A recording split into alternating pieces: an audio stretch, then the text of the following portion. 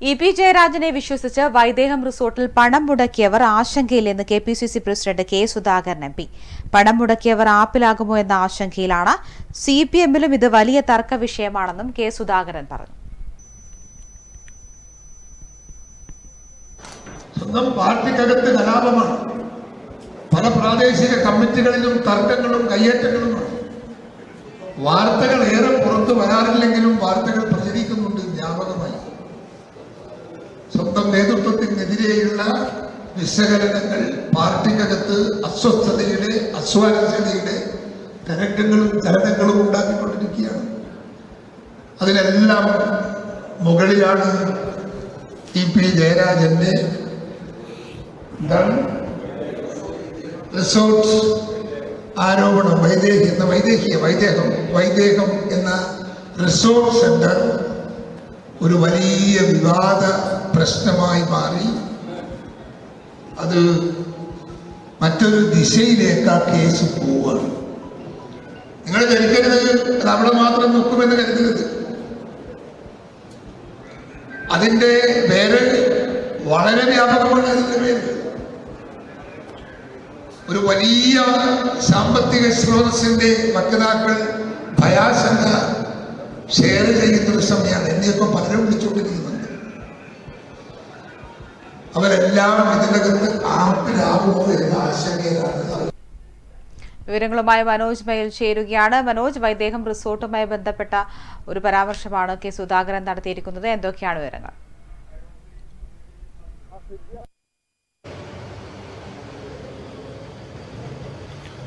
Hridya E P ജയരാജന്റെ ഭാര്യ ഇന്ദിരയും മകൻ ജെയ്സണും ഡയറക്ടർമാരായ വൈദേകം റിസോർട്ടിൽ ഇന്നലെ റെയ്ഡ് നടത്തിയിരുന്നു പരിശോധന നടത്തിയിരുന്നു. ഈ ആദായ നികുതി വകുപ്പുമായി ബന്ധപ്പെട്ട് ടി ഡി എസുമായി ബന്ധപ്പെട്ട വിഭാഗമാണ് ഈ പരിശോധന നടത്തിയത്. ഈ പരിശോധനയിൽ കാര്യമായ ഒരു ക്രമക്കേട് കണ്ടെത്തി എന്ന് പറയാൻ കഴിയില്ല. പക്ഷേ ഇതൊരു രാഷ്ട്രീയ ആയുധമാക്കി കോൺഗ്രസ് ഉപയോഗിക്കുന്നു എന്നതിന്റെ സൂചനകളാണ് ഇന്ന് കെ പി സി സി അധ്യക്ഷൻ കെ സുധാകരൻ എം പി നൽകിയത്. ഡി സി സിയുടെ ഒരു നേതൃ യോഗത്തിൽ പങ്കെടുക്കുന്ന പങ്കെടുത്തുകൊണ്ട് അതിന്റെ നേതൃയോഗം ഉദ്ഘാടനം ചെയ്തുകൊണ്ടാണ് K P C C president ഇത്തരത്തിലുള്ള ഒരു പരാമർശം നടത്തിയത്. അതായത് ഈ വൈദേകം റിസോർട്ടിൽ പണം നിക്ഷേപിച്ച ആളുകൾ ആശങ്കയിലാണ്. പലരും തന്നെ വിളിക്കുന്നുണ്ട്. ഇത് ഇ പി ജയരാജനെ വിശ്വസിച്ചാണ് ഈ പണം നിക്ഷേപിച്ചത്. അവരൊക്കെ തന്നെ ഈ പണം തിരികെ കിട്ടുമോ എന്നൊരു ആശങ്കയിലേക്ക് വന്നിരിക്കുകയാണ്. ഇത് സി പി എമ്മിലും വലിയ പ്രതിസന്ധി സൃഷ്ടിച്ചിരിക്കുകയാണ്. ചേരി തിരിഞ്ഞുകൊണ്ട് സി പി എം നേതാക്കൾ തമ്മിൽ ഈ വിവാദത്തിൽ പങ്കുചേരുന്ന ഒരു സാഹചര്യമാണ് ഉള്ളത് എന്നാണ് K P C C president K Sudhakaran പറഞ്ഞത്. നമുക്ക് ഈ വൈദേകം റിസോർട്ടിന്റെ റെയ്ഡുമായി ബന്ധപ്പെട്ട് വന്നാൽ ഇ ഡിയുടെ ഒരു അന്വേഷണവും ഇതിൽ ഉണ്ടാകും. അതായത് കേന്ദ്ര ഏജൻസികളുടെ ഒരു നിരീക്ഷണത്തിലാണ് ഈ വൈദേകം റിസോർട്ട് എന്ന എന്നാണ് ഇപ്പോൾ ലഭ്യമാകുന്ന സൂചനകൾ. ഏഴ് പോയിന്റ് രണ്ട് ആറ് കോടി രൂപ ഈ വൈദേകം റിസോർട്ടിൽ നിക്ഷേപമായി എത്തിയിട്ടുണ്ട്. ഈ നിക്ഷേപകരുടെയൊക്കെ പേര് വിവരങ്ങൾ ഇപ്പോൾ ആദായ നികുതി വകുപ്പ് ശേഖരിച്ചിട്ടുണ്ട്. ഇതിൽ രണ്ട് കോടി രൂപ വരെ നിക്ഷേപിച്ച ആളുകളുണ്ട്. രണ്ട് കോടി രൂപ നിക്ഷേപിച്ചത് മൂന്ന് കോടി രൂപ നിക്ഷേപിച്ച ആളുകളുണ്ട്. ഒരു അഷ്റഫ് അലി എന്നയാൾ മൂന്ന് കോടി രൂപ നിക്ഷേപിച്ചിട്ടുണ്ട്. അതോടൊപ്പം തന്നെ രണ്ട് കോടി രൂപ നിക്ഷേപിച്ചത് നജീബ് എന്നയാളാണ്. അജിത് എന്നയാൾ ഒരു കോടി നിക്ഷേപിച്ചിട്ടുണ്ട്.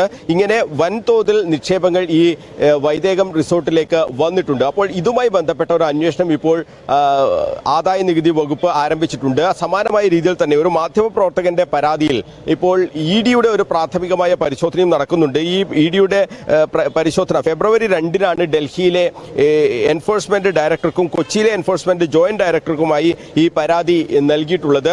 ഇതിൽ മിക്കവാറും എല്ലാ കാര്യങ്ങളും അതായത് ഈ റിസോർട്ടുമായി ബന്ധപ്പെട്ട എല്ലാ കാര്യങ്ങളും അടങ്ങുന്ന ഒരു പരാതിയാണ്. അതായത് ഇതിന്റെ എല്ലാ വശങ്ങളും അറിയുന്ന ആൾ ഇത് ഈ പരാതിക്ക് പിന്നിലുണ്ട് എന്നതിന്റെ സൂചനകളാണ് വരുന്നത്. അപ്പോൾ അതാരാണ്? അത് ഈ പരാതിക്ക് പിന്നിൽ ആര് എന്നുള്ളതാണ് ഇപ്പോൾ പ്രധാനമായും ചർച്ചാ വിഷയം. ഇത് സി പി എമ്മിലെ ഗ്രൂപ്പ് പോരുമായി അല്ലെങ്കിൽ ഏതെങ്കിലും നേതാക്കൾ തമ്മിലുള്ള പ്രശ്നങ്ങളുമായി ബന്ധപ്പെടുത്തി ഇതിനെ കാണാൻ കഴിയുമോ തുടങ്ങിയ കാര്യങ്ങളൊക്കെയാണ് ഇപ്പോൾ പൊതുസമൂഹത്തിലെ ഒരു ചർച്ച.